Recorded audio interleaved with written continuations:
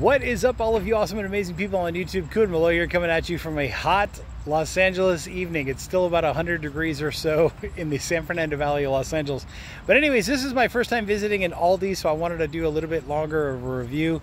What I noticed right off the bat, the quick summary is that Aldi to me is like Kirkland to Costco. It's kind of like a lot of generic stuff made by probably bigger companies that just don't want to pay for the advertising, the packaging, etc. So they release it through a generic name through Aldi to save everybody some money. So here's an example. If you go to Costco and you buy a hot and ready pizza, it's about 10 bucks, right? If you buy the same pizza that's in the refrigerated section at Costco, you're gonna pay $9. So here at Aldi, if you buy the refrigerated pizza, it's only five bucks. So you're saving $4 on that same pizza that you still have to put in the oven and bake yourself or whatever. But hey, you're saving four bucks and all those little all those little dollars add up. Another prime example would be the organic spring mix salad. If you go to Costco, you're gonna pay, I think the last price I checked was $7. It might have gone up to $8. Here at Aldi right now it was $5, $4.95.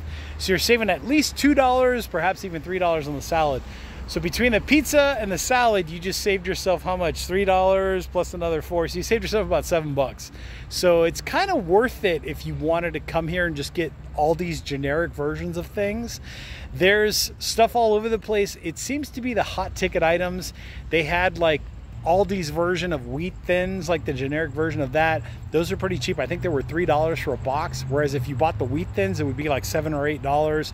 So you kind of get the idea. Anyways, Parking's pretty easy. The store is pretty simple and laid out. It's about half the size of a regular supermarket, even maybe a third of the size of a regular supermarket. There's not a whole lot of choices. Like you're not going to see 30 different kinds of yellow mustard. You're probably going to see two or three kinds of yellow mustard because they try to pick the ones that are the most I guess consumer requested or whatever the exact terminology is. Anyways, overall, I like the place. I would definitely come here if I was having a party and I wanted to buy some less expensive food. That's probably the same food you would buy at a bigger ticket store, you know, that kind of thing. But you get the idea. So anyways, there are some links below to some pretty cool products. Make sure to check those out. There's also a like button. Make sure to hit that. Hit the subscribe button if you like what you're seeing.